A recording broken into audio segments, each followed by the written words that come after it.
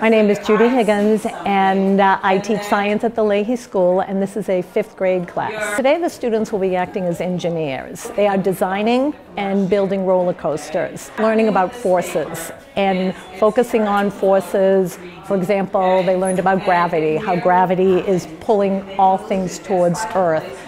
They've learned about potential energy and kinetic energy, and uh, one of the big learnings that they've really done a great job with struggling to understand is that as something goes up, it is actually storing potential gravitational energy and then it's going to release that turning into kinetic energy to put it down the hill. Have their criteria is that their roller coaster has to one be safe so they're using marbles and those represent the passengers in the cars so you know that's the goal that it cannot fall off the track and secondly, their roller coaster must contain two loop-the-loops.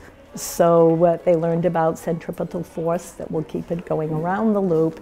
And then they also have a sharp turn where they'll be kind of dealing with inertia. The marble will continue in one direction unless they provide an outside force to make it create that sharp turn. It's incredible for so many reasons. One, a lot of these kids are English learners.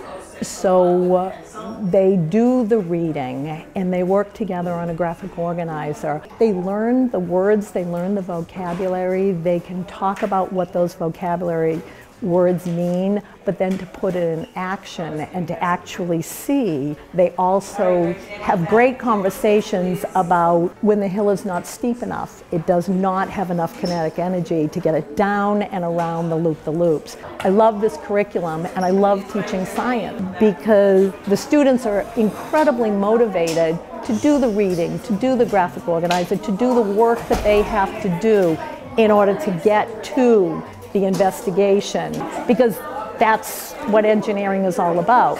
You're getting a problem, how are you going to solve it? What you're about to see is they're putting their diagrams into action and seeing the successes and some of the struggles that they'll have. My name is Liz Laney. My name is Zanaya. My name is Ladies. My name is Liz Marie. And, and this, this is the Roller Coaster Project. What we're doing right now, we're making like a roller coaster with exactly two materials, 10 foams, like what we use for our roller coaster, and two dowels. With other planning and other forces that we're trying yeah. to do. Yeah, so we had to like answer questions on like what kind of forces we need to use. So the so like our passengers, which is our marbles, if it falls off, we have to figure out why it's falling off. If it doesn't have enough force, or um, or the friction is not making sure it doesn't slow down like after a loop-the-loop.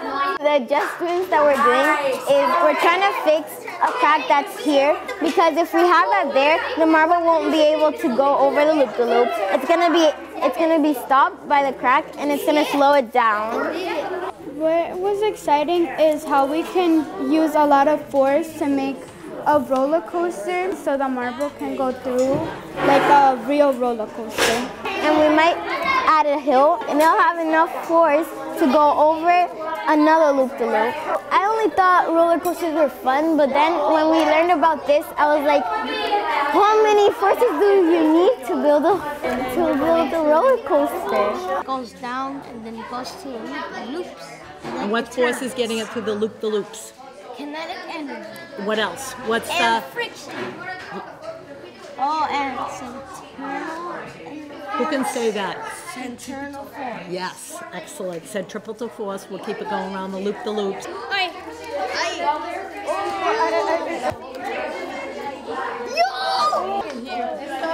Oh. Yeah. My name is Damili and my name is Sony working and like building the project. Like it's really hard to do it. We built this roller coaster out of our minds. These are the passengers, and we can't let them fall off the track so they can enjoy the ride.